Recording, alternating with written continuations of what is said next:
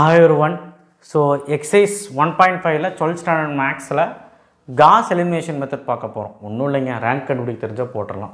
One point டூவில் rank கண்டுபிடிக்க row reduction பார்த்தோமா? எக்ஸ்லான் ஃபார்ம் அதாவது எக்லான் ஃபார்ம்னு சொல்லலாம்.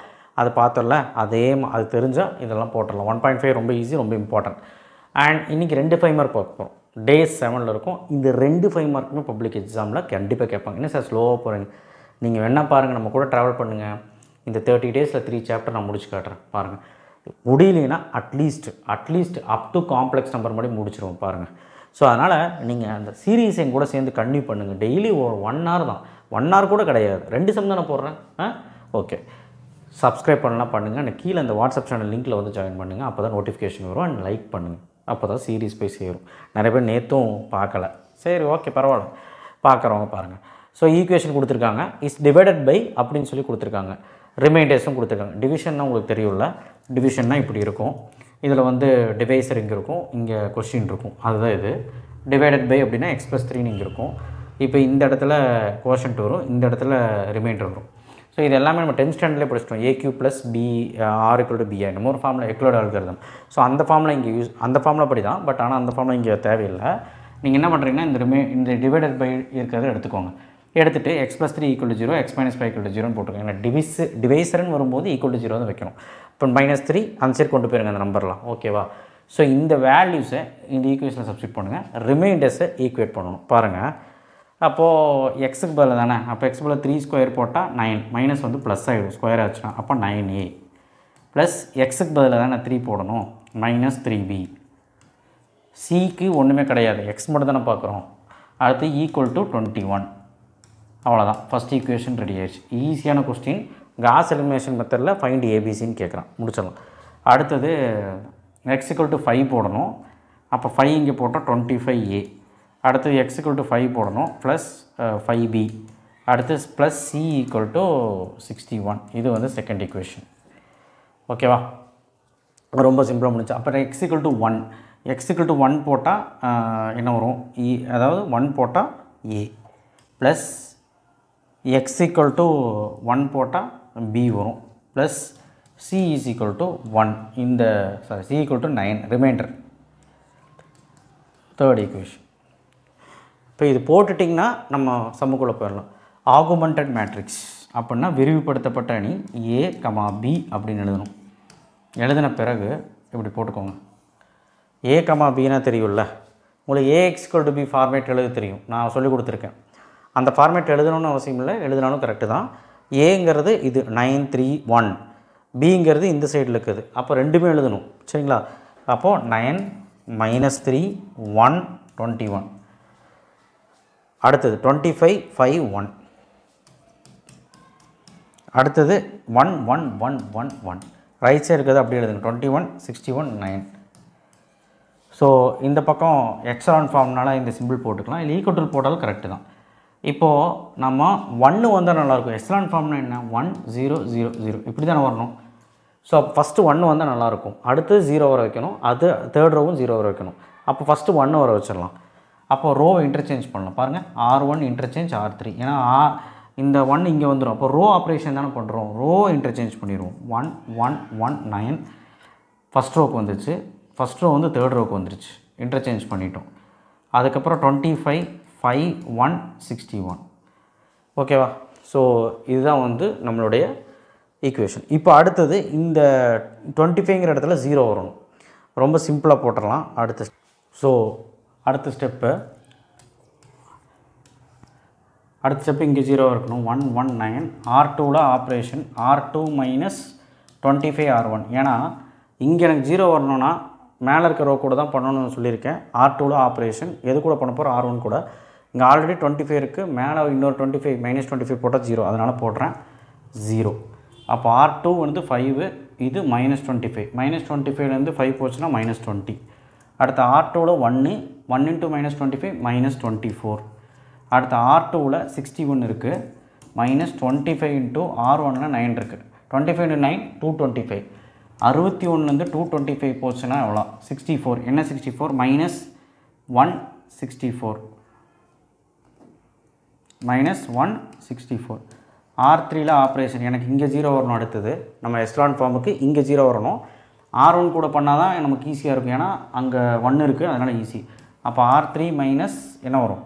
நயன் ஆர் ஒன் ஜீரோ ஏன்னா நைன் மைனஸ் போட் மைனஸ் நைன் போட்டால் தானே நைன் மைனஸ் நைன் ஜீரோ ஆகும். அதனால் மைனஸ் நைன் இங்கே போடுங்க. ஆர் ஒன்னுக்கு minus nine minus three minus twelve அடுத்து ஆர் த்ரீயில் என்ன? One nine into one minus nine அப்போ one minus nine minus eight ஓகேவா அடுத்தது ஆர் த்ரீயில் என்ன இருக்குது twenty one okay minus nine R ஒனில் என்ன இருக்குது nine nine nine sir eighty one so eighty ஒன்லேருந்து டுவெண்ட்டி ஒன் போர்ஷனாக எவ்வளோ எயிட்டி ஒன்லேருந்து டுவெண்ட்டி ஒன் போர்ஷனாக சிக்ஸ்டி என்ன சிக்ஸ்டி மைனஸ் சிக்ஸ்டி அது இங்கே போடுறோம். ஓகேவா ஸோ நெக்ஸ்ட்டு நெக்ஸ்ட்டு இங்கே ஒரு ஜீரோ வரணும். அப்போ ரோ த்ரீயில் தானே ஆப்ரேஷன் அப்போ ரெண்டு ஃபஸ்ட்டு ரெண்டு ரோவை எழுதிக்கலாம். எந்த சேஞ்சுமே கிடையாது.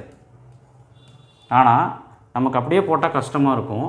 அதனால் நான் இந்த ரோல் என்ன பண்ணுறேன்னா எல்லாமே ஃபோர் டேபிளில் போகுது இங்கே எல்லாமே ஃபோர் டேபிளில் போகுது. நான் சிம்பிளிஃபை பண்ணிவிட்டு பண்ணால் ஈஸியாக இருக்கும் அதனால் சிம்பிளிஃபை பண்ணிக்கிறேன்.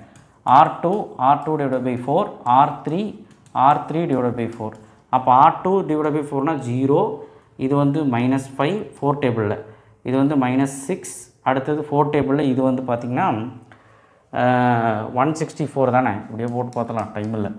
ஒன் சிக்ஸ்டி ஃபோர் ஃபோர் டேபிளில் கட் பண்ணிங்க அப்படின்னா என்ன ஆகும்?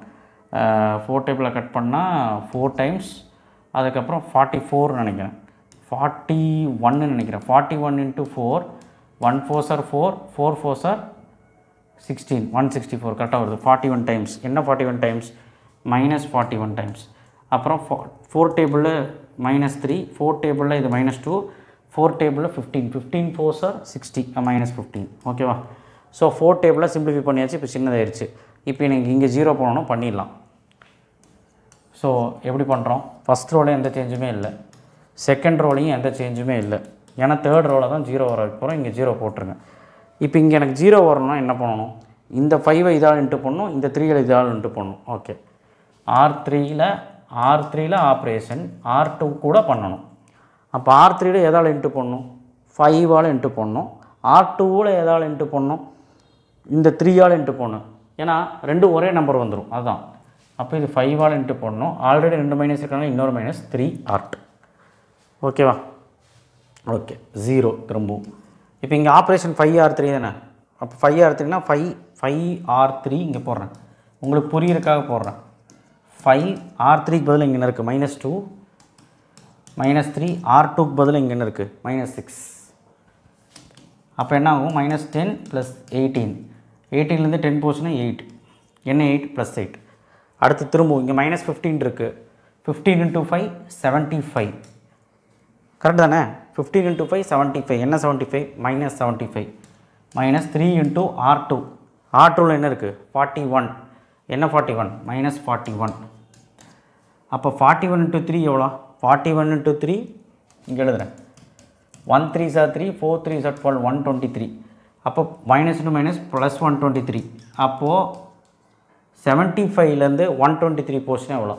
ஒன் டுவெண்ட்டி த்ரீல seventy five போர்ஷனா twenty five twenty five plus twenty three forty eight என்ன forty எயிட்னா twenty five plus twenty three forty eight தானே? எஸ் ஃபார்ட்டி எயிட் என்ன ஃபார்ட்டி எயிட்னா ப்ளஸ் ஃபார்ட்டி எயிட் ஸோ நமக்கான ஆன்சர் வந்துருச்சு பாருங்கள் எக்லான் ஃபார்ம் ஓகேவா கரெக்டாக அப்படி பொறுமையாக பண்ணிங்கன்னா உங்களுக்கு வந்துடும் ஓகே ஓகே அப்போ echelon form it is in echelon form இல்லைன்னா எக்லான் ஃபார்ம் ஸோ அந்த ஃபார்மில் இருக்குது நான் வந்து இதுக்கப்புறம் இருக்கிறது இனிமேல் தான் நீங்கள் கற்றுக்க போகிறீங்க காஸ் எலிமினேஷன்னா சொல்யூஷன் கண்டுபிடிக்கணும் எக்ஸ் ஒய் ஜெட் அப்போது இது எக்ஸு இது ஒய் இது ஜெட் நம்ம சம் ஏபிசியில் கொடுத்து ஏபிசி தான் கண்டுபிடிக்க சொன்னாங்க.